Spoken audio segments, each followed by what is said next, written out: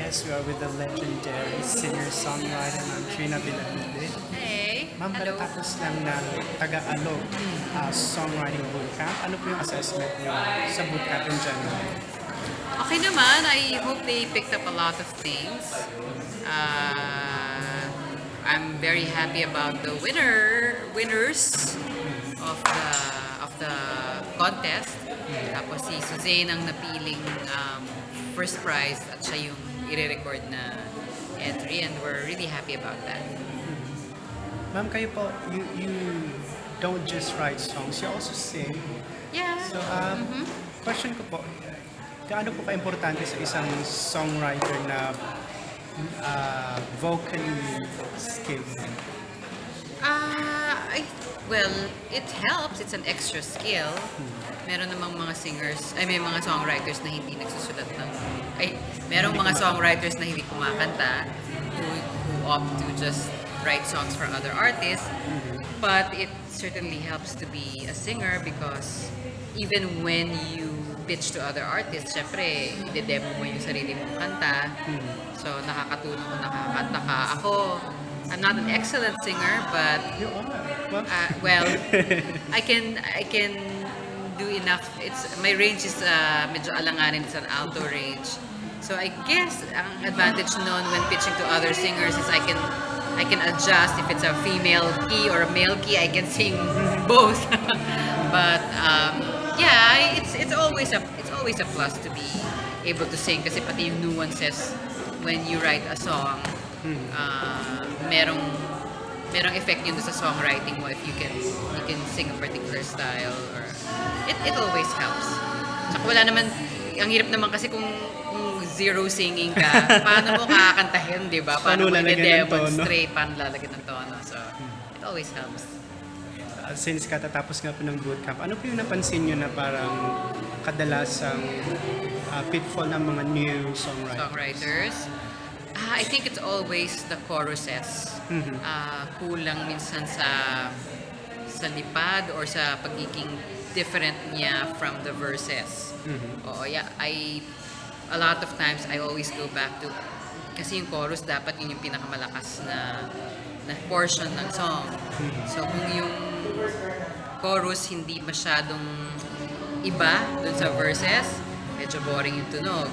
Or kung hindi masyadong dumilipad, hindi masyadong, kung yung melody masyadong mababa, medyo it's not as interesting. So, yun. I, I think for most uh, new songwriters, the choruses need more energy.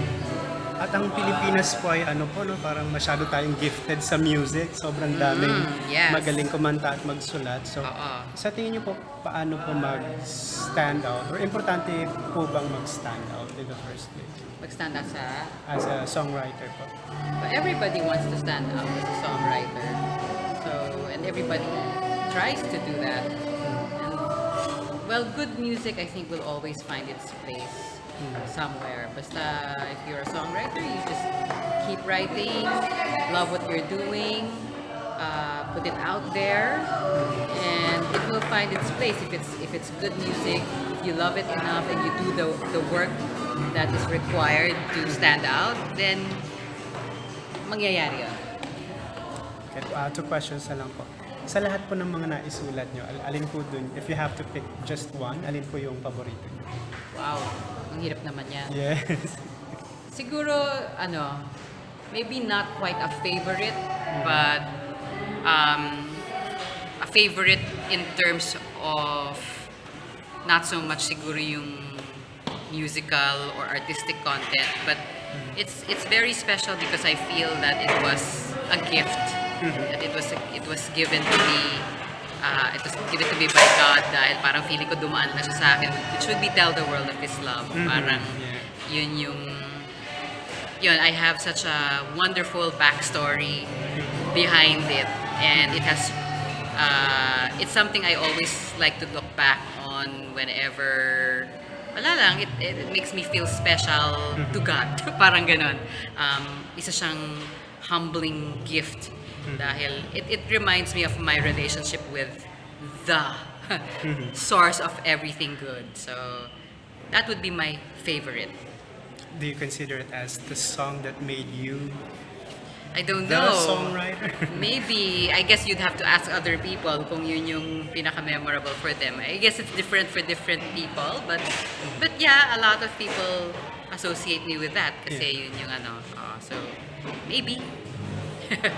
uh, last song. If there's one song that you wish you wish was written by you, why, what would it be? There's too many of them. There's too many of them.